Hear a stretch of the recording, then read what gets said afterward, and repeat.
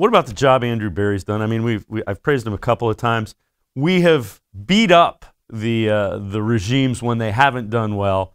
Um, when this has gone in the correct direction, I think it's important that we point out they're doing a nice job managing the cap, uh, accumulating talent, and they have a vision for what they want to be. I think that might be the key. That might have been what has been missing in the past.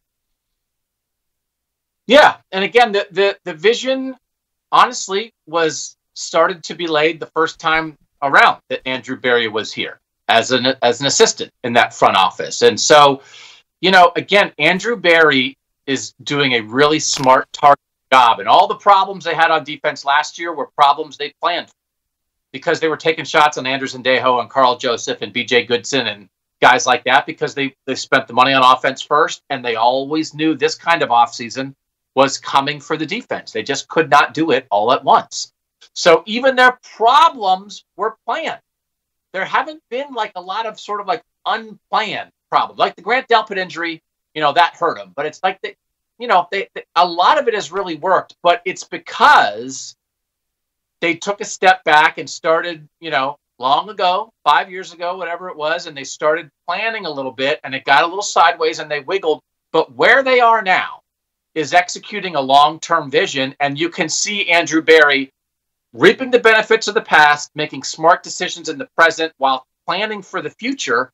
And like that's what a plan does. And again, it felt like for too long the Cleveland Browns didn't have a plan, but they had to step back to start executing executing this. And I don't mean well, I, am not going to apologize for it anymore. This is the these are the fruits of one and thirty-one. Like that was the seed, right? I mean, we can't pretend it wasn't.